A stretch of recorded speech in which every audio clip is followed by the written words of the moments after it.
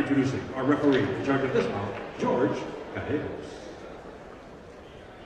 And now, introducing to you first, fighting out of the blue corner, he is wearing blue trunks, trimmed in baby blue. He is training out of Kings MMA in Huntington Beach, of Anaheim.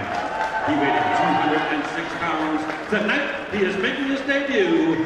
Ladies and gentlemen, introducing Patrick Yapjoco!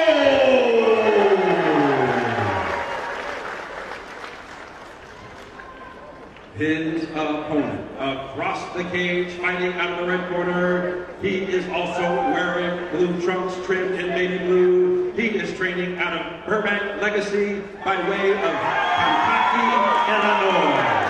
He weighs 196 pounds. He is also making his debut. Ladies and gentlemen, introducing George Keto Killer Harris. Once again, our referee in charge, George Gallegos. All right, here we go. About to start it off here. George Harris in the red corner coming up against Patrick Yapjoco in the 205-pound weight class. Opening bout here at Sparstar 52. Thank you all for tuning in.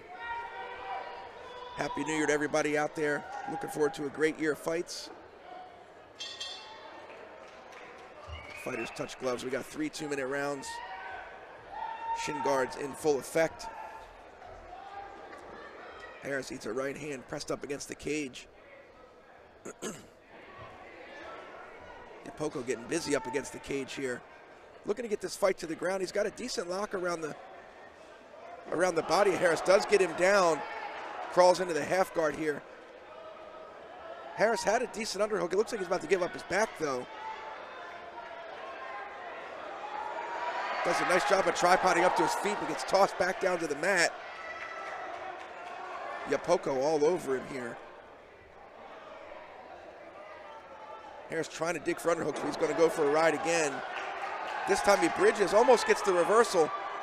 Ends up in bottom mount, eating some ground and pound for his trouble. Yapjoco just doing a nice job of staying on him with this ground groundwork here. Another takedown. A nice single leg runs the pipe, gets him down into that half guard again.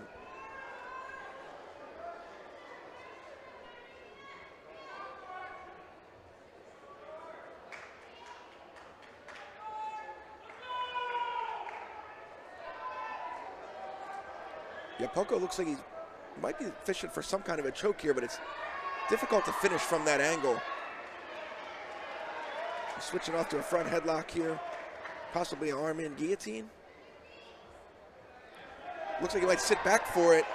He does. He has the neck. Harris in trouble here. He's got no arm in to defend, and he got to, forced to tap out. Yapjoco with the guillotine victory. Nice debut effort here from Patrick Yapjoco out of Kings MMA. He's going to improve to 1-0 in his debut fight. Hats off to Harris for getting in there and giving it a shot. Never really got any offense going, was pushed up against the cage immediately, taken down a few times. Found himself caught in that guillotine submission, forced to tap. Take a look at the replay here. You can see Yapjoco doing a nice job of getting some takedowns. Harris tried to bridge him over, almost had him there, but left his neck out here. Just kind of a rookie mistake here to fall right into that guillotine. Didn't really seem to know how to defend. It was a nice guillotine, though, by Yapjoco. Not taking anything away from him. Right under the neck, or under the chin, rather, around the throat. Forced to tap out. Right here, Harris had an opportunity to hop over that right leg of Yapjoco to get to the, the clear side to free his head, but was unable to do so.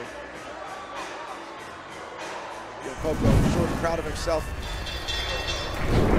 Ladies and gentlemen, at one minute 44 seconds of round number one, referee in charge, George Gallegos, stops the contest due to a tap-out submission guillotine choke. Our winner, in the blue corner, Patrick Yapjoco!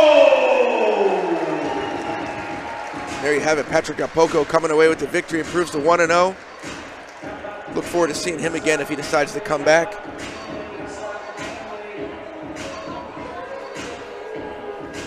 That's going to bring us up to our second fight of the night. It's going to be a welterweight contest, 170 pounders. Debut fighters Brian Noriega out of Kings MMA up against Joseph Deacon, 10th Planet San Diego. Stay tuned.